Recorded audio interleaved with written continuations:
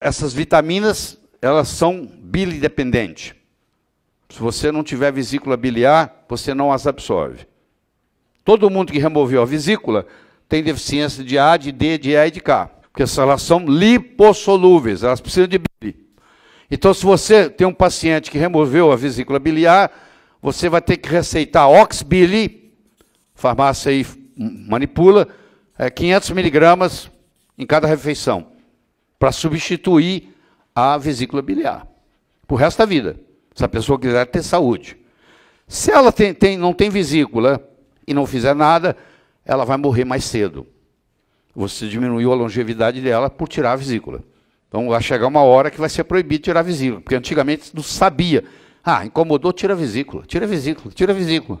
E hoje nós sabemos que quem tem, tirou a vesícula tem, por exemplo, mais infarto do miocárdio, por deficiência dessa vitamina.